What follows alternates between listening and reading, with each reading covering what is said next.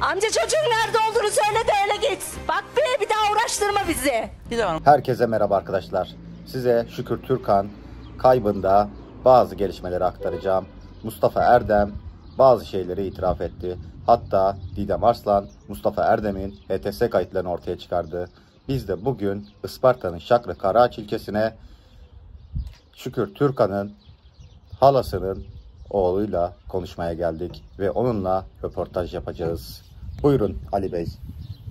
Mikrofon sizde. Evet arkadaşlar ne edip durursunuz? Biz gerçekten çok üzgünüz. Öyle ki Şükür Türkan benim teyzemin kızı oluyor. Öyle ki 10 yıldır onu ne arayıp sorup dururuz ne de görüp dururuz.